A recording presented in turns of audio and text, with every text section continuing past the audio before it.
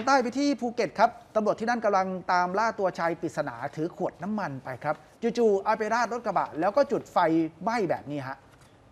นี่ฮะมีภาพจากกล้องวงจรปิดผู้ชายคนนี้ สวมหมวกกันน็อกเต็มใบเนี่ยเนี่ยเนี่ยเนี่ยเนี่ยเนี่ยเนี่ยเนี่ยโอ้โหเอาน้ำมันมาราดใส่รถ แล้วก็จุดไฟ นี่เป็นภาพอีกมุมหนึ่งเดินมาในมือ ถือขวดน้ำมัน เอามาทำไมอะอืมแล้วคลิปนี้ เพจดังของจังหวัดภูเก็ตครับโหดจังจังหวัดภูเก็ตเอามาโพสต์ไว้ เป็นภาพจากกล้องวงจรปิด 2 มุมเลยนะ เอามาราดแบบเนี้ยในบ้านเพื่อนบ้าน สุดท้ายจุดไฟเผาแบบนี้เลยฮะตอนนี้อยู่ระหว่างการไปติดตามล่าตัวนะ เพจดังบอกว่าใครพบใครเห็นโปรดแจ้งเจ้าหน้าที่ตำรวจด้วย เหตุการณ์เกิดในพื้นที่ตำบลรัษฎาอำเภอเมืองภูเก็ตครับ กระบะเนี่ยถูกไฟไหม้ได้รับความเสียหาย เป็นรถกระบะอิซูซุสีดำทะเบียนบอยไม้จอจาน 9661 ภูเก็ตครับ ทีมข่าวของเราก็ไปสอบถามเจ้าของรถให้การบอกว่า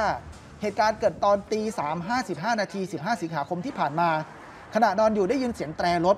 ก่อนจะมีชาวบ้านมาตะโกนเรียกครับ ก็เลยใช้น้ำฉีด แล้วก็เรียกหน่วยดับเพลิงของตำบลรัศดามาช่วยดับไฟ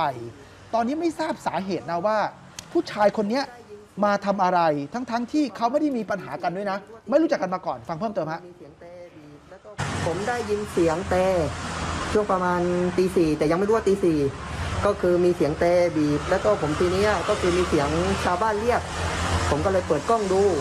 แล้วก็มีเพลิงเปลวไฟ ซึ่งผมไม่รู้ว่าเกิดจากไฟไหม้อะไรพอเปิดก็เห็นรูปดังกล่าว มีชายเอาน้ำมันมาราดครับผมเบื้องต้นนี้ ผมก็ไม่ได้มีปัญหากับใคร เพราะว่าผมก็ทำงานมาหลายปีนะครับ ไม่ได้ขัดแย้งธุรกิจกับใครหรือว่าเป็นเรื่องกับการขับรถหรือว่าอะไร แต่ว่าผมก็ไม่ได้ขับรถซิ่งอะไร ผมก็ใช้ในการทำงานอย่างเดียวครับผม